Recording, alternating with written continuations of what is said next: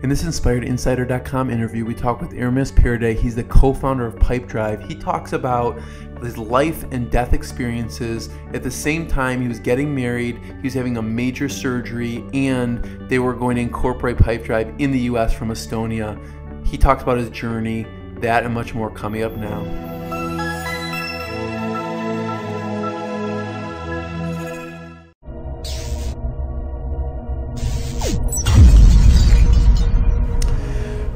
Dr. Jeremy Weisz here. I'm founder of InspiredInsider.com. I talk with inspirational entrepreneurs and leaders and how they overcome big challenges in life and business.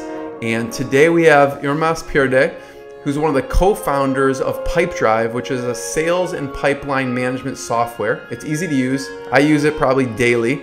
They have almost 10,000 paying customers in over 100 countries worldwide. Some of their customers include HubSpot, Samsung, Discovery Channel, and many more. Um, Urmas has trained more than 10,000 salespeople in thousands of companies over 10 years, and some of his customers included Price Waterhouse, Toyota, Coca-Cola. Uh, Urmas, thank you so much for, for joining me. Thanks for having me. I appreciate I, it. You know, a lot of people go through tough times and they have things standing in their way personal issues, money, health. And the question is, how do we overcome what seems to be insurmountable in the midst of running a business? You know, oftentimes we don't talk about the health stuff or, or the yep. big mistakes or big challenges. We talk about the high points. So I'm so happy to have you talk about some of the big challenges. And when I heard kind of what you went through, I knew we had to talk and you had to tell people about it. And I always like to include a fun fact. A fun fact about you is you're a certified firewalking instructor. Mm, How did that come about and, and, what do you do with that? Uh, I think I got certified uh, more than 10 years ago. Uh, one of um, really famous uh, motivational speakers, Anthony uh, Robbins used to do that, mm-hmm. and my friend Pip, uh, we were running a sales training uh, company with uh, Timo, yeah. Uh, uh, my co-founder in Pipedrive right now. training business back then, and Pip got really curious how how is he doing that firewalking thing. Right. So he he looked up who was the trainer of Anthony Robbins uh, got his contacts, contacted him. His name was Tolly Burkan. So uh, the guy invited us over. So uh, we got certified, me and Pip, back then. I think it was 2001 in uh, Florida. So we, we, it was curiosity first. so what attracted you to do the firewalking? Why not just go to the seminar and, and try it there? Why did you want to get certified? Because uh, we wanted to use that during our trainings as mm-hmm. well. And first, uh, it was there was something really, um, how to say, it was too interesting just to just to uh, do it once and then mm-hmm. uh, never realize what is it really right. about. So, what did you learn? What did you learn from getting certif- certified as a firewalker? I learned how to pay attention. That's the biggest uh, thing you can learn, I think, from a firewalking e event. First thing you learn actually is how to conquer your fears, because it's really natural to be scared before you. Oh, for sure, piping hot yes, coals. Yes, I don't want to yes. walk on those. Yeah. Yeah. So uh, so so you learn more about your uh, fears and how to uh, deal with emotions. Yeah. But if you have done that for uh, several times already, um, uh, you realize that it, it's actually uh, even if you have walked hundreds of times before, mm-hmm.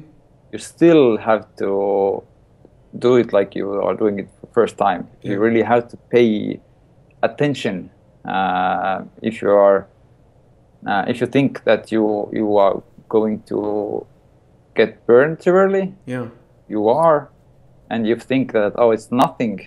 That's also a very arrogant way of looking at it, and you will also get severe burns. Keeps you humble. So yes, you yeah. have to have that that humble attitude, and uh, and uh, pay attention on your thoughts, that I will be fine. My yeah. body will do whatever it needs to do to protect me, and it will be fine. So it's yeah. a it's ultimate uh, exercise how to really yeah. be focused. So how did you conquer your fears then? Uh, before firewalking? No, with the firewalking. Uh, it's a, the exercise. When, when you have done it uh, once or twice or mm-hmm. five times or ten times or hundred times, you you get a better how to say realization. Yeah. What is fear? Yeah. Um, when should I stop? When you are witnessing your fear, yeah. what is really a how to say? What are the fears you should um, you should take seriously and what what fears because, you because don't have to pay attention to. Fear could be just uh, yeah. it's a, uh, also fear could be um, uh, there's one way of describing fear is, is to describe it with acronyms. Yeah. Uh, false evidence appearing real. Right. All fears are uh, illusional. They are not. Yeah. There's not, there's there's nothing behind them. Yeah. They're just your own negative thoughts. Yeah um, and some fears are really. Um, there's another acronym: is fuck everything and run. Right. Uh, there are, there are some, some things you should avoid. So, so making a difference, which, which is it? Yeah. Uh, that's the that's the learning point. Yeah, usually, you know, Urmas, for the fun fact, I just say it, we talk about it for a second, but I feel this is so important because the whole theme of this is almost like conquering fears. And you know, when people find out kind of your story and what happened, they'll realize, but there's one thing of conquering your own fears. When you're an instructor, you help people, other people conquer their fears, right? So what did yes. you do to help others? Because people may be experiencing, they may be scared just to get on the phone to make a sales call. They may be scared to ask for money.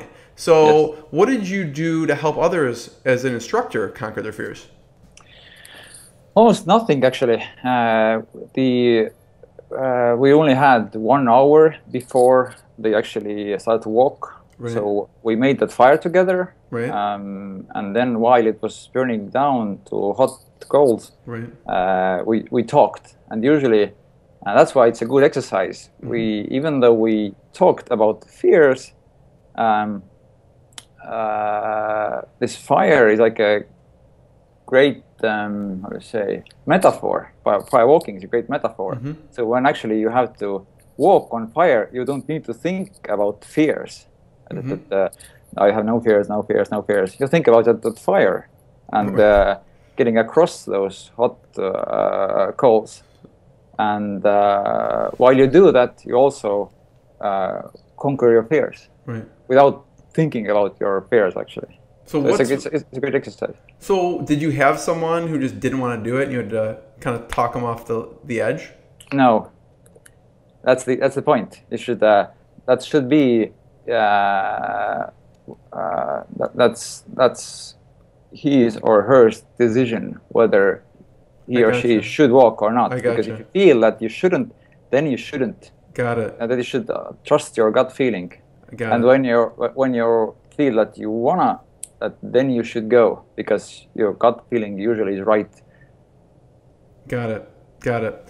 So what about something where you know that you you don't want to do it but you should do it? Like someone's scared to make pick up the phone and make a sales call.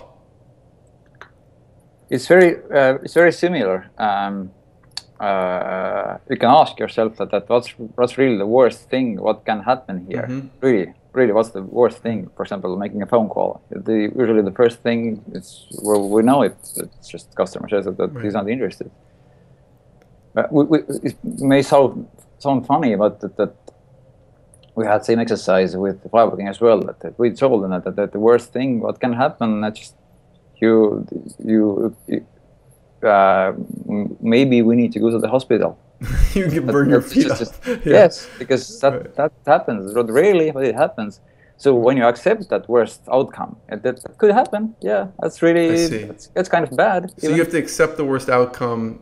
Yes. Also. Yes, and and th- then you can act because if you're not accepting the worst outcome, that fear really starts uh, really doing bad. Yeah. Things on you. You can't you can't act anymore. Yes, that's a good. I like that. Yeah, think of what the worst outcome is and accept it um, if you can. It, was expect uh, sorry expect the best, but uh, plan for the worst. the worst. Yes. So Urmas, tell me, you know, I know you had you had an interesting childhood. What where you, where are you from? Tell people what was like growing up. I was growing up in Estonia. Uh, capital of Estonia is Tallinn, and it's country right next to uh, Russia. So my childhood happened while uh, Soviet Union was collapsing. So um, my uh, or my first, I, I, earned my first um, pocket money in rubles, but when I was already uh, let's say 16 years 16 year olds, we already had our own money, crowns, Estonian mm-hmm. crowns. So so um, was a big change back then. We had this new shiny thing called capitalism. Um, we've, we, uh, before that, we saw it only from Finnish TV. Mm-hmm. Uh, so we had no clue what capitalism is or was back then. And uh, uh what was it like before capitalism? Like, so people may may not even understand or kind of experience it, what was what did the landscape look like before capitalism? For a kid, um, first, um, if you're a small kid, maybe there's not too much difference. The mm-hmm. the we had a lot less toys, and uh, mm-hmm. after the school, when Pop told me that please go to the store and get some milk, some sometimes I had to. I remember my my worst trip to store. I had to wait eight hours to get just a one wow milk. So so there's not much stuff in stores. But that's kind of scary though, as a child. Yes, but I but I had no way to compare it with something else. I that thought was just it's like a kind of normal. Got and uh, I saw from TV that oh, for some reason, other countries they have a lot of stuff in stores. No, no clue. How is that possible? How do you how do you actually eat though if you are waiting eight hours for just a carton of milk and there's not much in stores? What do you do? Uh, well, um, you when you when you can, you buy what you can. You have to figure out a way uh, how to store. For example, I remember my my dad was storing uh, sugar. Uh, we had like maybe 50 kilograms of sugar at one point. So so um, because uh, it happened that during next let's say year there was no chance to buy sugar. Right. So we really had to have a plan. Like a ration of that, yeah. Yes, yes, yes. Wow. I remember my, my dad was really uh, mad at me when he realized that that, that uh, I made candies from that sugar. what did you do with the candies? We just ate them. Oh, okay. Maybe maybe I sold a few as well, but we, we just poured sugar on a pan and then made it liquid and made candies. It was, it was a real deficit. It was a really um, there was not much sugar available in stores, and I made candy from that. So, what was it like after capitalism then? Uh, For you, after capitalism, mm, first uh, um, uh, few small stories uh, I can remember. I can remember earning my first uh, earnings. I remember that, that, that uh, as in Tallinn, as Finland was so close to us, we were able to watch Finnish TV. Um, and I took uh, black and white pictures from TV screen. Mm-hmm. Um, uh, uh, from maybe you uh, have heard about Knight Rider. Sure. Yeah, I made pictures of that. David Hasselhoff and his car. Yes. Kit, and then there was a MacGyver. I like that. I love that show, MacGyver. Yeah. yeah. Two favorites, and Battlestar Galactica when I was even younger a bit. So I made those pictures. We developed them in our uh, kitchen with uh, my dad, yeah. and then I sold them in school. Oh wow! One one ruble a piece, black and white pictures. So, so I earned my my first rubles right uh, there. So it, was funny. It was not uh, it was not illegal um, anymore to uh, do great stuff and sell it. There was there were first companies forming in Estonia uh, back then, selling uh, uh, hamburgers, which no one ever saw before. So our business is evolving. I, I remember um, I was into the computers. Our our school got maybe one of the first uh, Apple computers oh, wow. in the whole Soviet Union. Wow! For sure, and other schools didn't have it. We had one Apple II computer. Uh, U.S. exchange students uh, gave it to us, so it was a it was a big thing to see a Apple computer so that, that that's how capitalism arrived. So was a lot electronics hard to come by because it, you're waiting eight hours in line for milk, but you have a TV and a camera. Was that hard to come by? How did you acquire that? yes, it was. It was uh, hard to get that kind of uh, stuff from stores. You had to really check the stores every now and then and when there was a when there was some when for example when they were selling uh, let's say CD players there was a immediately that was a rumor that hey they are selling CD players now and so everyone went ah did you I didn't have enough money or someone said that, that, that, that we got one our our dad had like 50 rubles and we, we bought a CD player so so it was uh, yeah. rare uh, to have modern technology yeah so I was in I was in good school, so our, our school had a really um, our school had some computers, but that was rare. Yeah, there So tell tell us, um, you know, some of the big roadblocks you ran up against in personally and in business. Mm-hmm. I know there's a big personal one. Can you uh, share that? Uh, yes, I think one of the biggest personal uh, roadblocks, uh, kind of arrived uh, on 2011. Uh, I remember we uh, had just founded Pipedrive a few months before that, and I remember because I was working at two places at the same time. I was still working at uh, Widener Partners, which was a training business um, we had with uh, Timo and Pep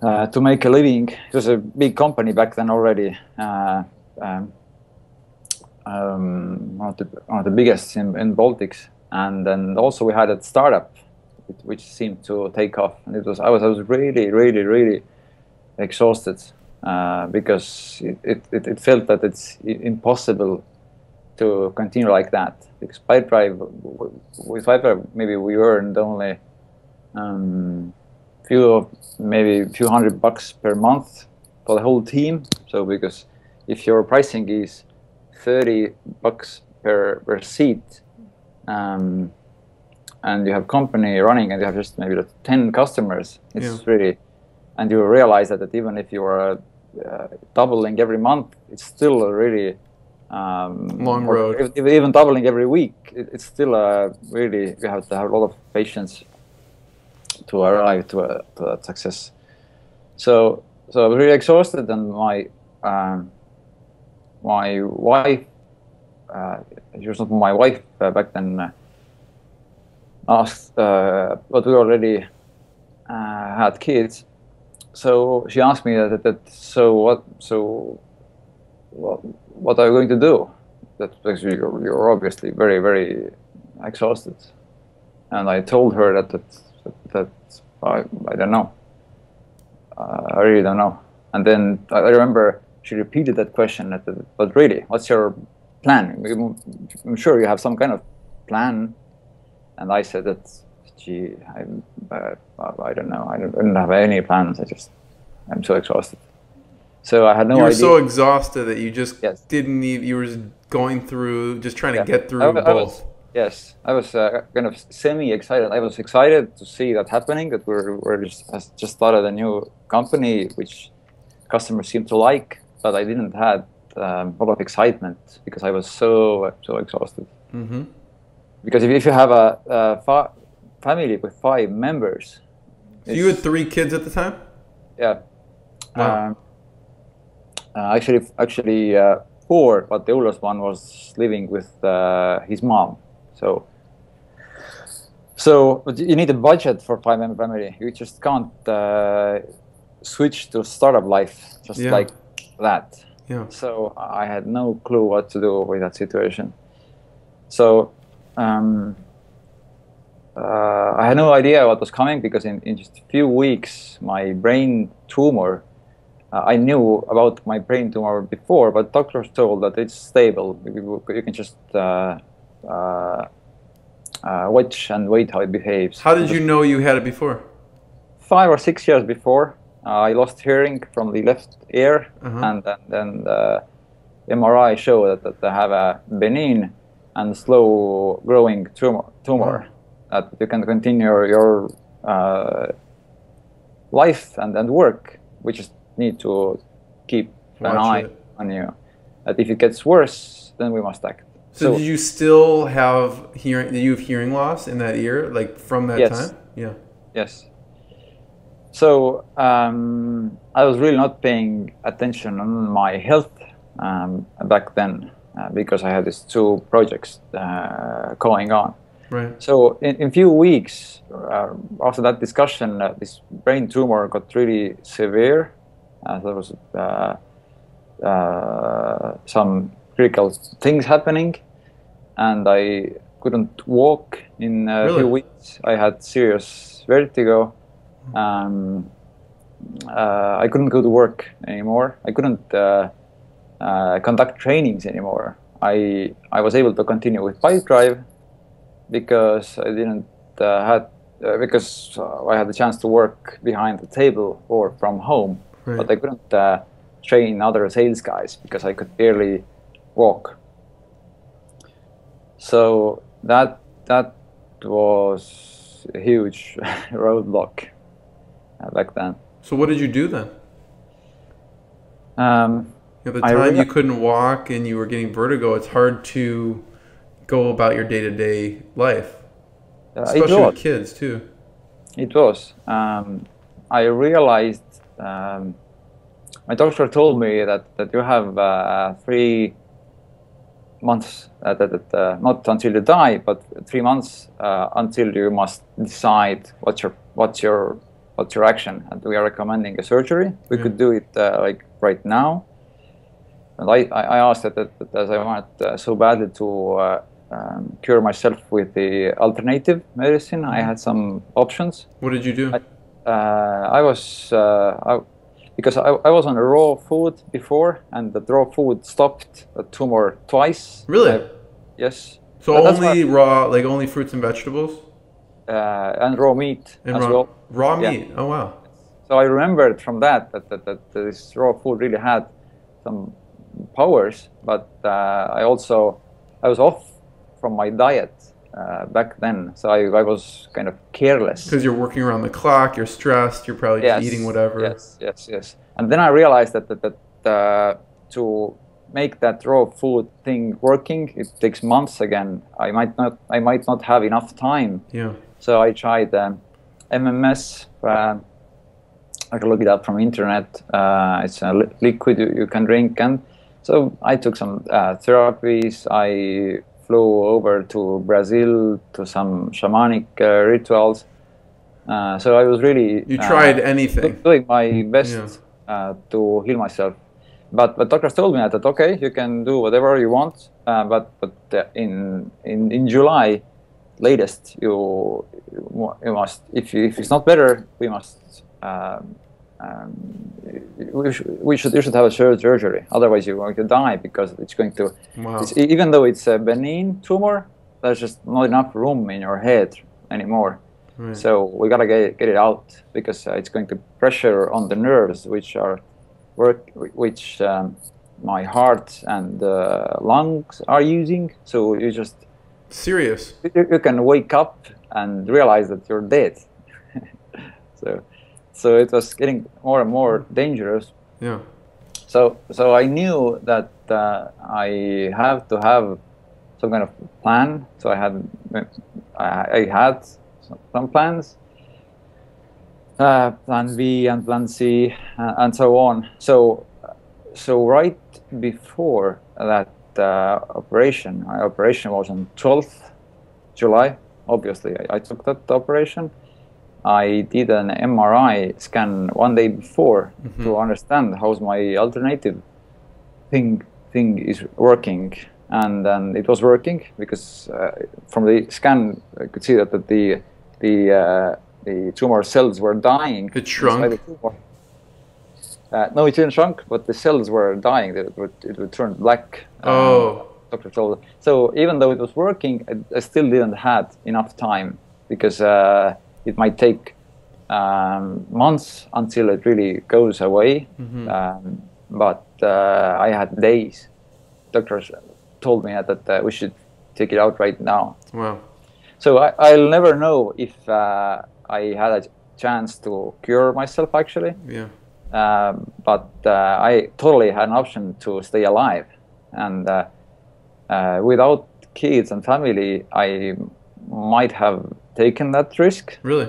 When I yes, it's possible, but uh, but my friends and I remember my brother telling me that, and that uh, and I look at my kids and it's felt like obvious. Why do I need to take that risk? There's a actually there, there is a door. Right. Yeah. They told me um, why I was hesitating. Yeah. Uh, they told me that that you probably it's going to affect your facial nerves, so it's a really big chance that you're going to be paralyzed. Your left uh, side of the face is going to be paralyzed, and as I was a uh, trainer uh, a speaker, I um, that was not an option for me. At yeah. least that, that's what I thought. Because it looks fine to me right now. Yeah, it, it, it took uh, uh, about a year to uh, recover to uh, maybe 50 or 60 percent what it was before. So right, it's fine right now. Yeah, it was much worse. it was totally paralyzed right uh, after the, the operation. So so that, that that's the thing I did with the health. Also, why why it was terrifying was that, that we had uh, uh, many plans for that July. Uh, uh, with Pipedrive, for example, we were thinking about uh, founding an U.S. entity, Pipedrive Inc. here, um, to start some fundraising Mm-hmm. Also, I was uh, planning to get married in July. Wow. I was planning to move from city to backcountry, and then it seemed that, that, that, instead of all those things, I need to get, get a surgery. Wow. But um, but um, as I as as I felt that depression before the operation, and I remembered my lessons from the uh, depression I had like five or six years before that, I, my lesson from that was that just you should never stop. Uh, um, you should you should keep going. That there's there's no vacation is going to help you out if you have a severe depression or mm. Or a bad situation going on. So I remember from that that that, that I should still uh, keep doing all the things we are doing. So I told to my co-founders that the best thing you could do uh, with Pipedrive is let, us keep going. Let's still uh, get incorporated in US. And uh, with uh, my wife, we were still planning to get married, even though I almost couldn't uh, walk. So in July, we we did all those things. Oh, really? I got, I got married. Before the I surgery, did, you did all that? Before surgery, yes. One week before the surgery, surgery I got married. During the surgery, uh, we uh, moved from city to backcountry. Um, and uh, we also, during a surgery, we uh, founded that Pipedrive Inc. Wow. right here in in California. So so we, we, we did all that. Yeah. Uh, everything happened at once for you. Yes, in July. Wow. So my, my busy, busiest and worst months and best months right ever. Right. No. Yes. Really highs and really lows. So yes. just to give people an idea, what was it like, like right before the surgery, and what was it like after? Because it's you know, all the anticipation has got to be difficult too. Yes. um, it was really bad before and really bad after as well. It was really bad before because, like I told, I wanted to cure myself. So I felt that I'm a uh, that's a fail if I'm going to use a surgery. I know it sounds weird, maybe yeah.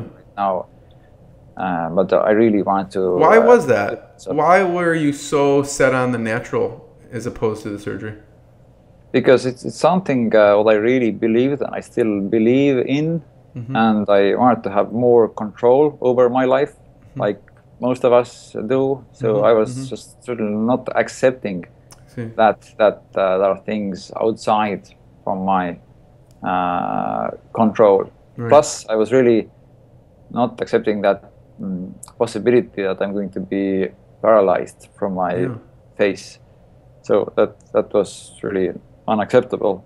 But but my life seemed to be uh, more valuable. Thank you. Uh, and uh, and that's why I did it. But the maybe the worst was still after the operation because I was really, really uh, depressed after the first days after the operation. I was, uh, I felt good because I survived.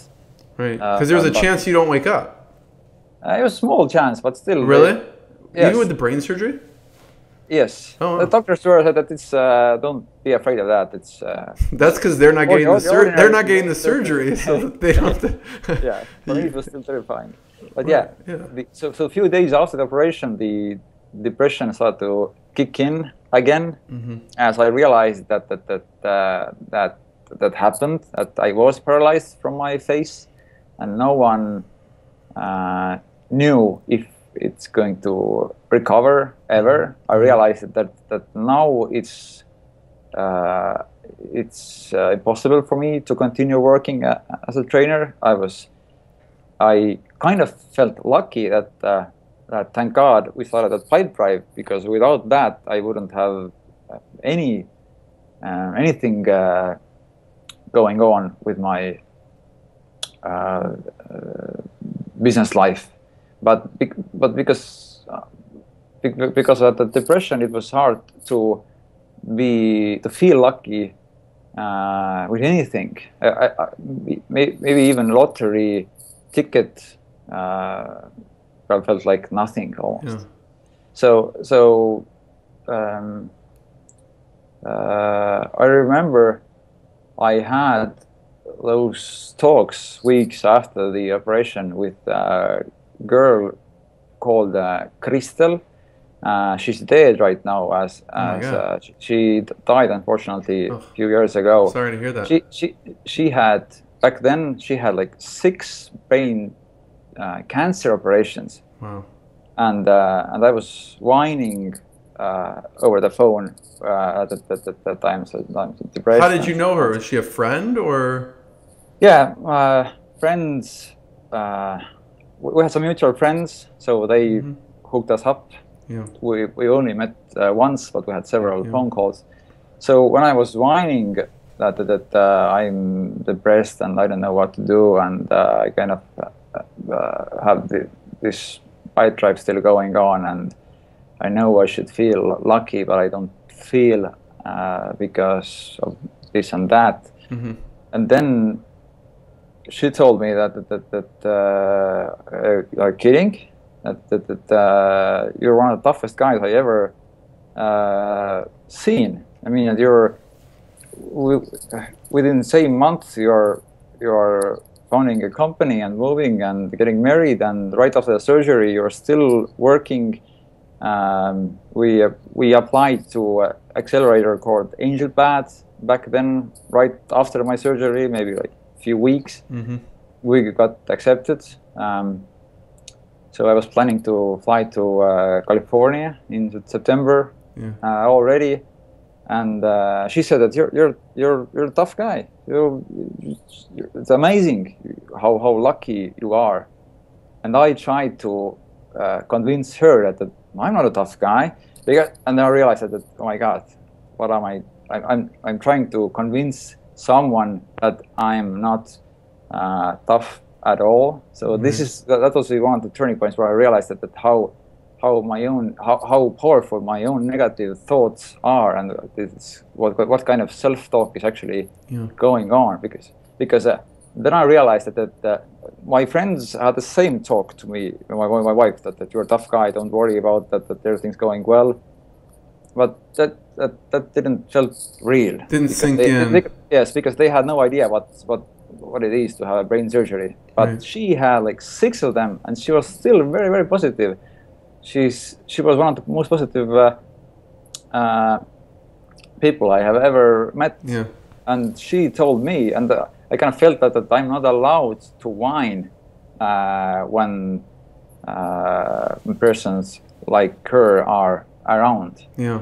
So so so I had many turning points, but I think that that phone call yeah. with her back then um, was one of the most important uh, turning points mm-hmm. that, that, that, I should pay attention what kind of thoughts I'm having about myself. Yeah. So so uh, I just uh, step by step uh, every day there's this success or uh, realization that, that that actually it's a great thing to be alive. Ne- never arrived like suddenly. It kind of woke you up. Yes, we, we went to the Angel Pad in San Francisco. I attended to investor meetings with the funny wow. glasses. Because so how far, how long after the surgery did you actually you? Because so, you're at this point, you're in Estonia, right? I was in Estonia, yes. And so these meetings are in San Francisco. Yes. So I think it was uh, two months after the surgery. So Only two months. Wow. Something, yes, because the, uh, the accelerator started uh, then.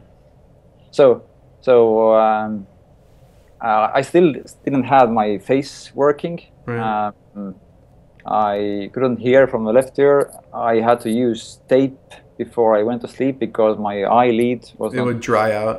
It, I I couldn't blink my left uh, eye. I was attending in four months in October already investor meetings with the funny classes where where one one uh, uh, uh, glass was uh, made of clear glass. Another one was black. So I was like, I was looking like a pirate on those meetings.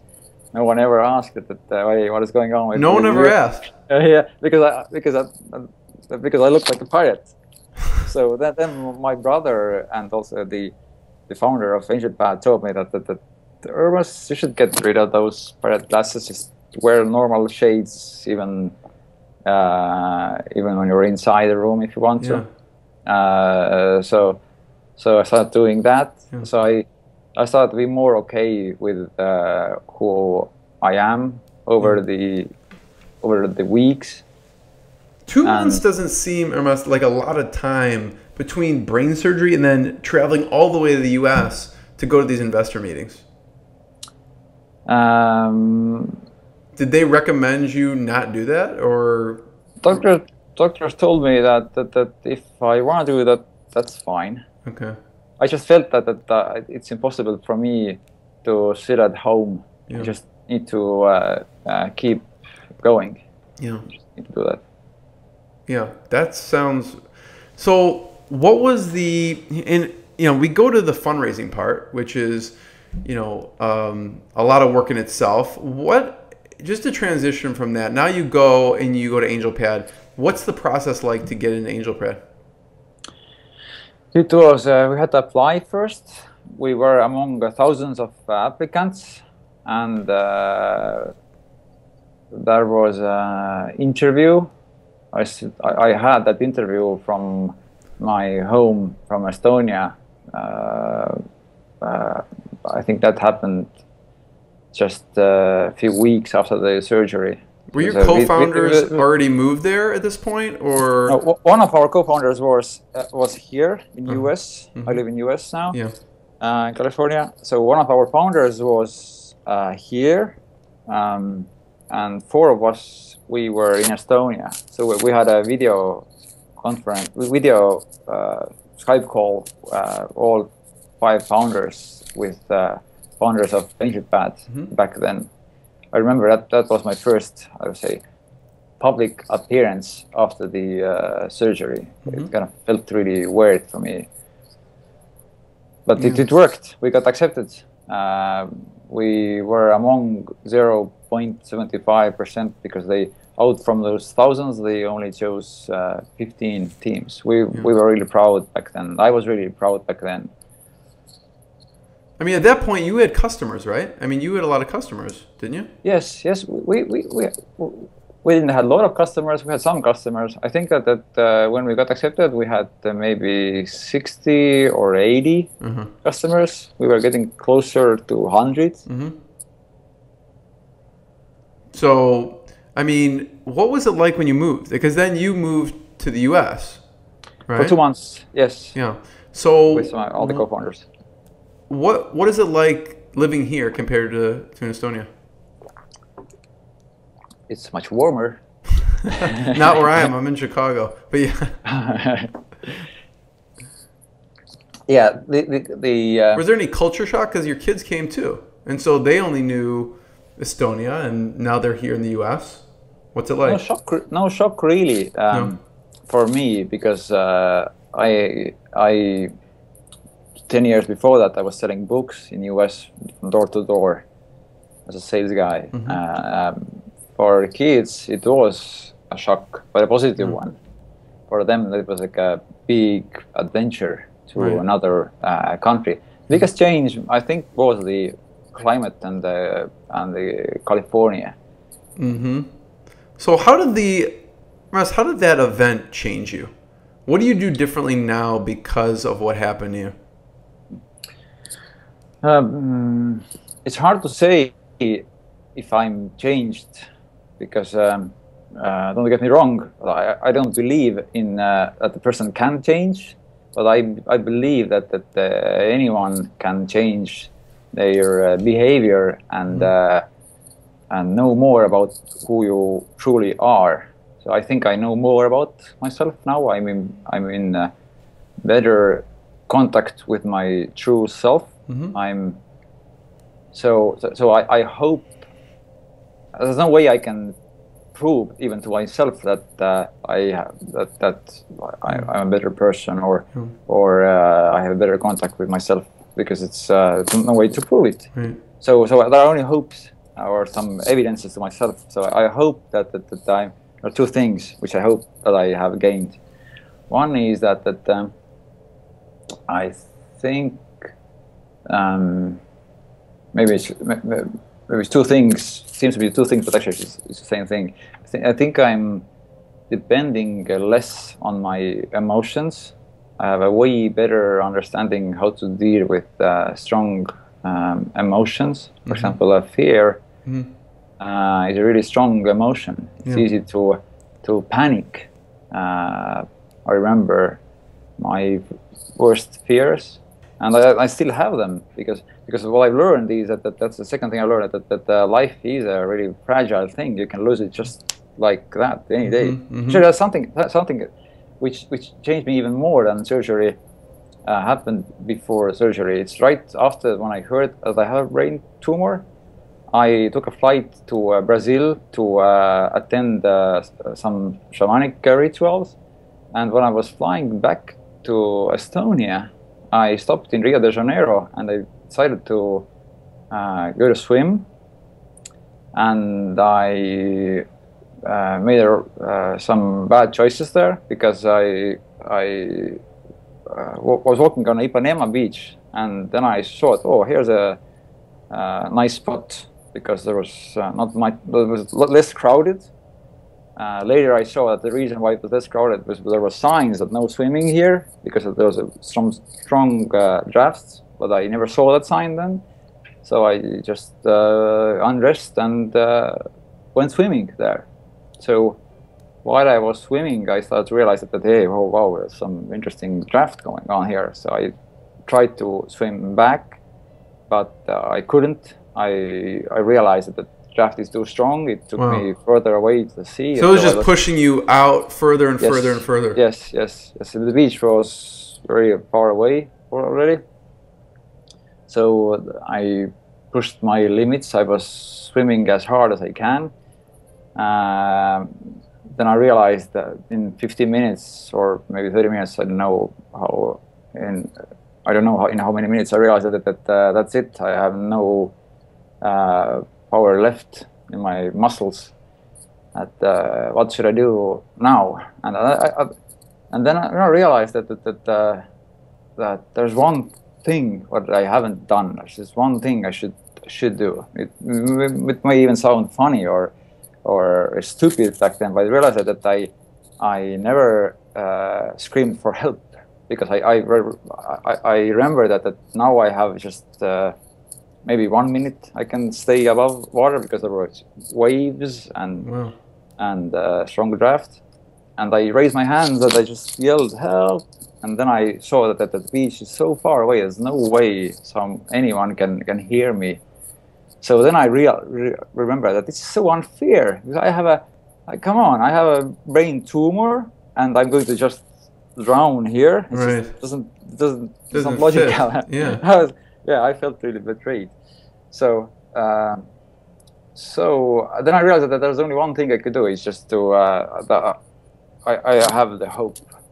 So it's I realized that it's really truth that the last thing but what what you have is your hope. Mm-hmm. I had that hope right there, and that that hoping thing worked because then I realized that that that, that not from the other side, there was a one surfer coming on, on his surfing board, and he pulled me on his board, and he he saved me. Wow. So then I realized that, that life is a really really fragile thing. You can lose it just on any given day. Yeah. So this is one of the one of the things that I have learned, and the other thing I said I have two things. Other thing is that, that I'm really I, I hope that I'm depending less on my emotions, not only fear, but also some other fears. For example, uh, it's it's um, it's easy to be mad on some situation um, or to be angry, mm-hmm. and I'm more okay with my emotions that that I I'm, I'm able to witness now my emotions that day. I'm I'm really I'm really angry here. Hey, or oh, it seems that I'm scared here. So so while you maintain that ability, it's easier to make any kind of decisions, also business decisions, because uh, because uh, we're, for example, right now we're competing with the biggest CRM players out there. We're competing with uh, Salesforce, for example, who's a big, really big company, and uh, without that ability to uh, just calmly witness your fears, it's much easier to make any kind of decisions, matter yeah. business or or personal, because yeah. it, it, without that, it's easy to uh, to uh, to start rationalizing that that that uh, it, uh, for example, let's have this business example that that uh, some, about strategy or or product or or marketing. It's easy to rationalize yourself out from some decisions without realizing that it's not rational. It's just fear. Mm-hmm. But if you if you're if you have better understanding what is your fear, you can you can start saying that hey, that's uh, actually that could be a good decision, even though yeah. even though it, it might um, scare us. It's it's just fear. Yeah. That's a really scary story, Urmas. I appreciate you sharing that because that's you know very personal stuff. But how do you make right now? How do you make? How does that change your decisions? you know, right now, after your surgery, you just go right back to work. Some people may go, you know what? Life is short. I need to relax more. Or, or they may find that work is, is their cause. What made you, how do you, what decision have you made because you have realized that life is fragile? With my work? Yeah, or? with work or with your personal life. Um, like, do you do anything differently? Like, um, I'm not going to work past seven because I need to spend more time with my wife and kids, or does that not come into your mind anymore? Mm. You know what I mean? Yes. Okay. I'll try to answer that. I, I don't want to say that, that it's my it's, it's meaning of my life. Uh, that's too big uh, thing to put into a sentence. But uh, but if uh, and uh, I don't think I'm capable of putting meaning of life into a sentence. But if if I had just to mention some keywords, yeah, not even meaning of life, but you know, is there any decisions you thought of that maybe you made differently now because of your experience? or maybe the Urmas before you went through that drowning episode and the surgery, you would have made a different decision. Um, maybe yes, that, that, but uh, there is one one thought or keyword mm-hmm. which I would use. Mm-hmm. Um, uh, it, it would be to have courage, because uh, without I really believe that that um, that uh, that if you have courage, um, it's easier to live uh, fully that life that you really uh, desire. Mm-hmm. Because it's uh, maybe before that, all those things, maybe I was wishing to have an easier life. It's easy to to wish for easier life, right. a more relaxed uh, life, or well, even a little bit easier. Mm-hmm. But then somehow, because I realized that that, that uh, it could happen that your life is full of challenges, and, and that, that, that easiness or or getting e- out easy, it's not. Um, it, it's it maybe sounds uh, easy, but there's no benefit in in easy life. I mean, it's really hard to maybe uh, verbalize that. I see what you thought. mean. I see what you mean. So I, I started to realize that, that, that you actually get more gratification and uh, you feel more alive if you're kind of going through challenges and, and overcoming than just kind of cruising along type of thing. Yes. Is that right? It's, it's not. Yes.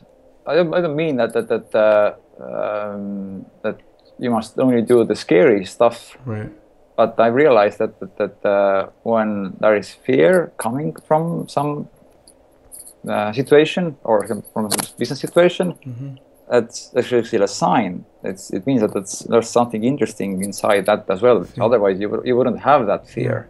Yeah. So then you start investigating that. Is that it's just is it just a stupid thing to do, and that's why you're having that fear, or maybe it's a it's a big thing you should uh, dis- discover further yeah. because uh, um, I believe that, that, that the other guys in Pipedrive, even though um, they have not had their uh, brain surgeries, Timo had his back surgery during accelerator, which is another story, uh, another crazy story. We have all developed that attitude that that um, great decisions best decisions are made with uh, with uh, not just rational thinking, but with uh, with some courage. Yeah, yeah, yeah. Thanks for sharing that. Um, so, Urmas, we talked about some of the low points, some tough points. Tell me about a proud moment, personal and business. I uh, I think uh, I I still personally suck at uh, being uh, proud. Mm-hmm. Uh, we have had many internal discussions in Pipedrive that that, that uh, we should learn how to celebrate mm-hmm. because I think that I remember when we launched Pipedrive, the beta, uh, we thought that, that someone thought maybe we should have a party and then we thought that uh, maybe it's too early. We should have some customers first. Then we had mm-hmm. first customers. which told that it's too early to celebrate because they need to start paying first. They are on free trial now. Mm-hmm. So when they start to pay, we thought that that's uh, 20 customers is nothing. If we'll have 100, that's something. Right. So when we had 100, we thought that, that 100, that's nothing. We should have like 500. And we had 500, then we thought that that's nothing. We should have 1,000. So I think the only uh, party we had back then was when we had our first thousand paying uh, customers. Yeah. Otherwise, um, uh, it's someone has to remind us. So usually that hey, you, you, you just had a milestone right there. You should really be proud of that. So so um, that's accept, getting accept, accepted to the AngelPad was really a proud moment mm-hmm. for me. Um, also, the milestones like first 100 customers or first 1,000 customers, uh, we're going to reach 10,000 customers. Uh, we're really proud of those. Uh, uh, yes. Why do you think it's so hard to celebrate? Um, this is a common theme. I when I talk to entrepreneurs, they say the same thing. I had this bottle of champagne when we hit our hundredth customer. Then when the hundredth customer came, I was like, well, we need the thousandth customer. And the thousandth customer mm-hmm. came, they want the ten thousandth customer, and and they just keep pushing it back. What makes it so hard to celebrate? Why?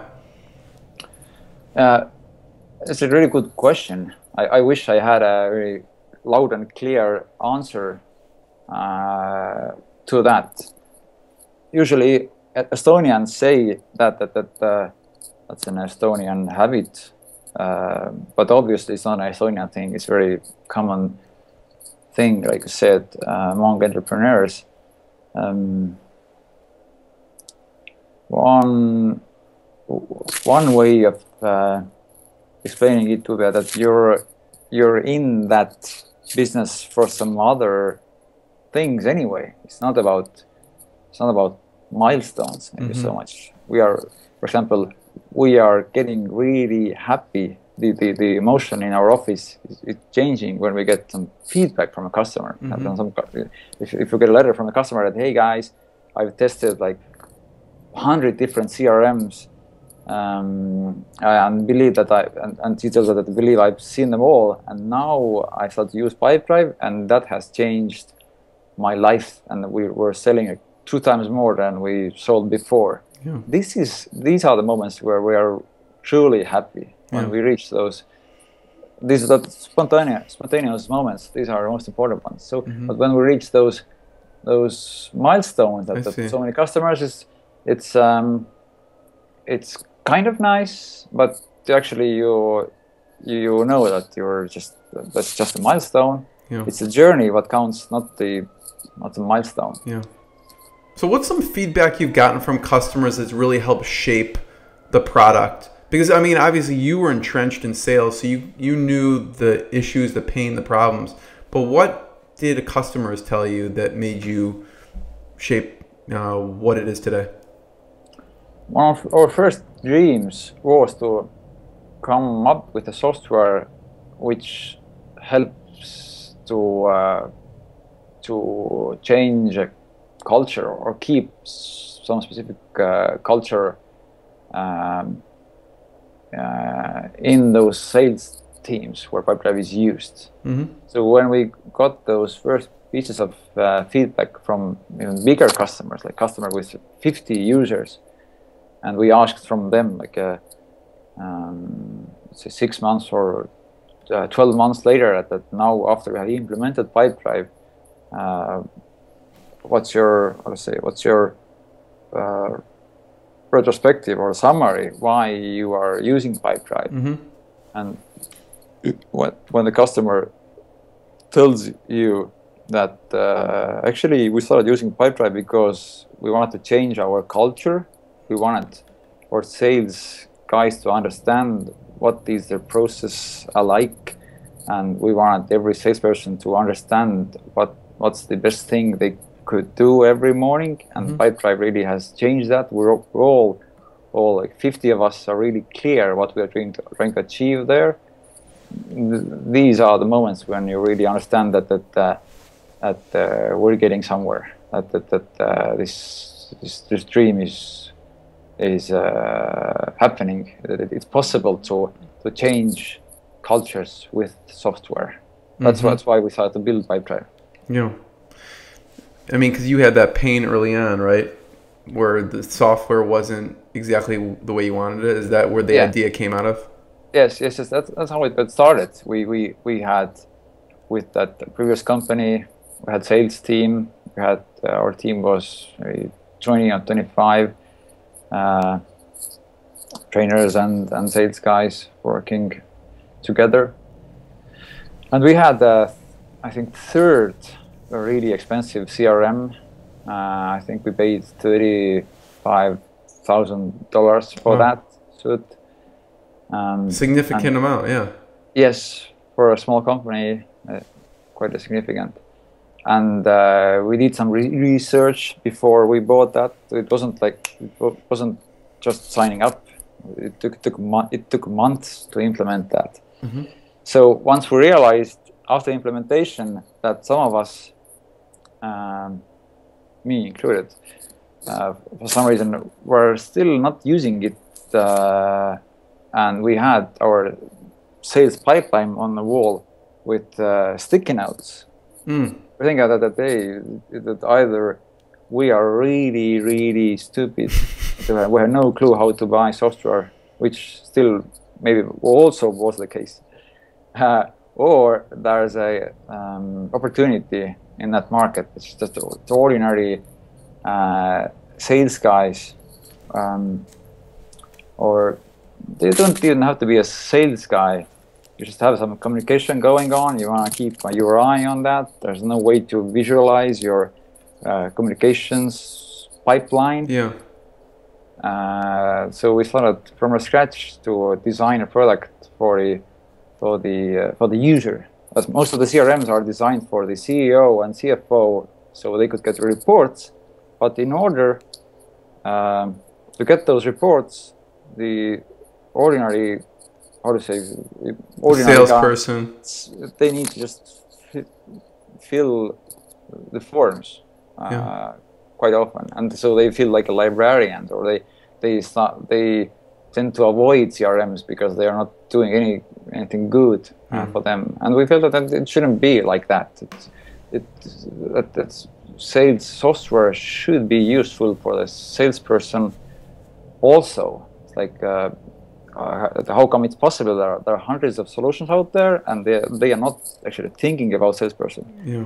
Many of them say that, that, that our software is easier, but that was the point. If there's no point of using it. The easiness is not really helping. It should be right. useful, not easy. Yeah. So it almost started it off as those post-it notes, and then that got converted into the the way it kind of looks. Because that's, I mean, obviously, I, I'm on Pipedrive every day, and that's exactly how it is. You can kind of just slide things along the, you know, along the funnel. Yes, we, we had long debates. What should be uh, what should be the first screen um, in Pipedrive when you log in? Should we have a dashboard or have list or or um, some kind of reports or something? Then we realized that, that, that the dashboard is really not. Uh, the dashboard is a great thing to visit, but steering a dashboard is not getting you anywhere. Yeah uh, you can waste a lot of time steering a dashboard. So it should be something uh, more workable. So we yeah. felt so, and then we realized that hey, why not to have sales pipeline yeah.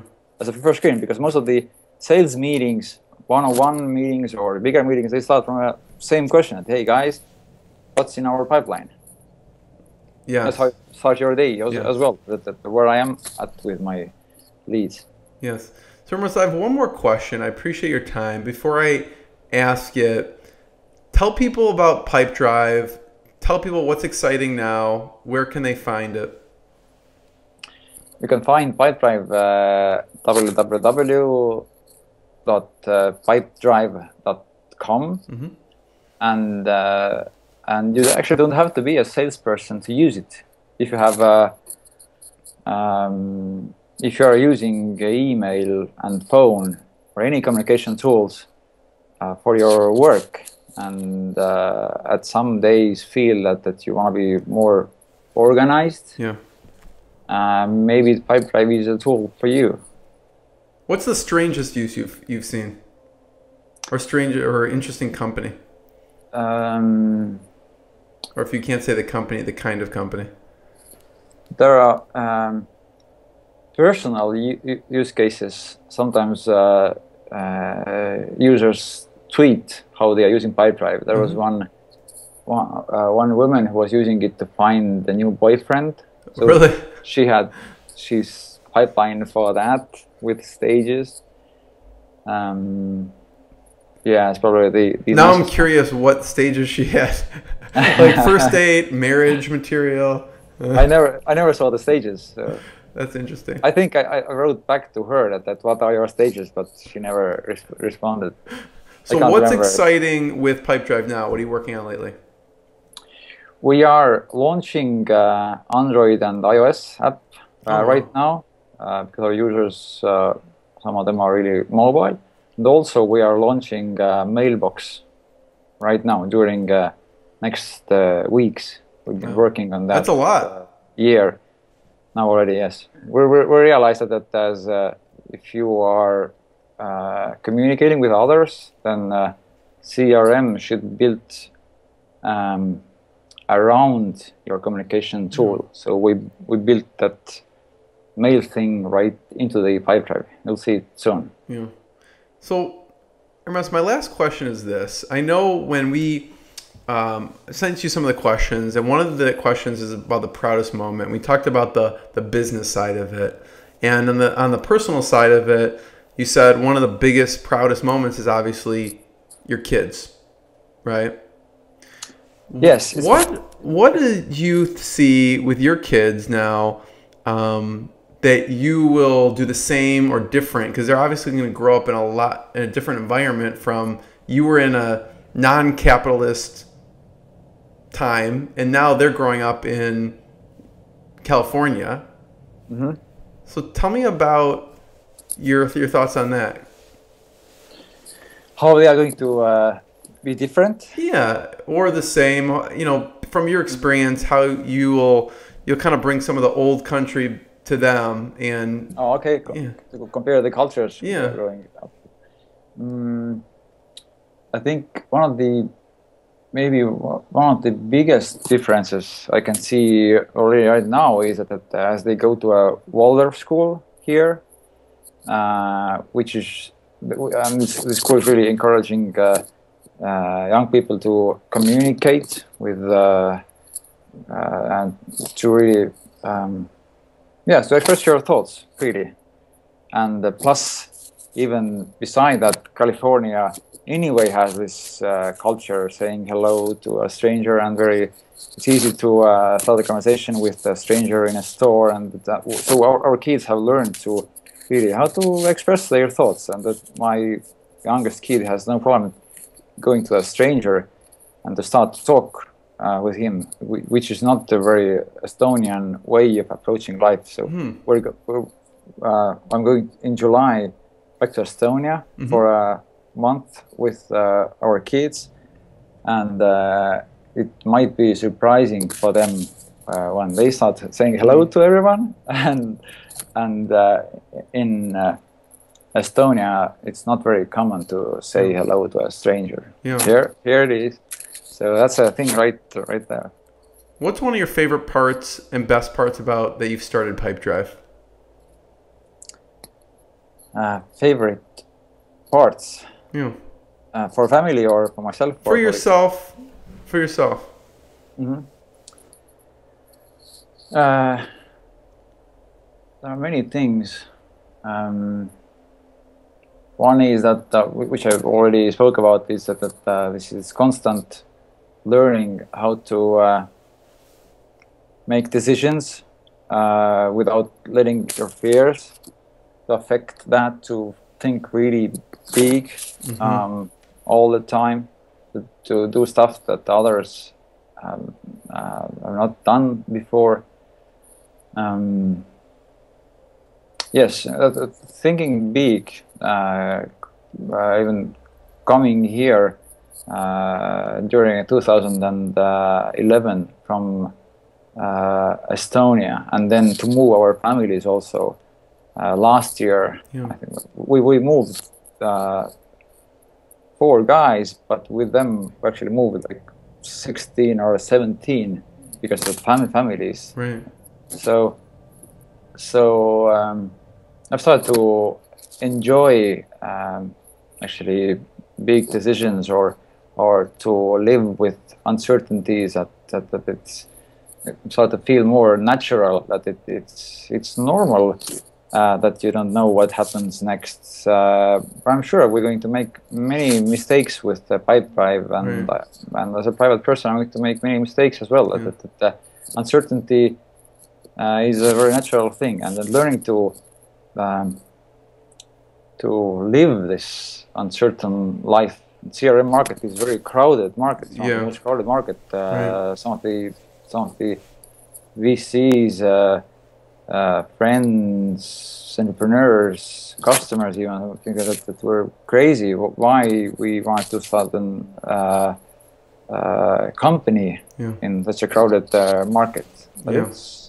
it just seems to be a good, a good idea. Yeah. We're, we're, we're okay with that risk. So this risk taking seems to be uh, yeah. much much cooler now than it was years ago. Yeah, I almost I'm in awe of what you have overcome personally, professionally, what your team has done with Pipedrive. I want to be the first one to thank you so much for for sharing your story with uh, with all of us. Thanks. Thanks for having me. Yeah.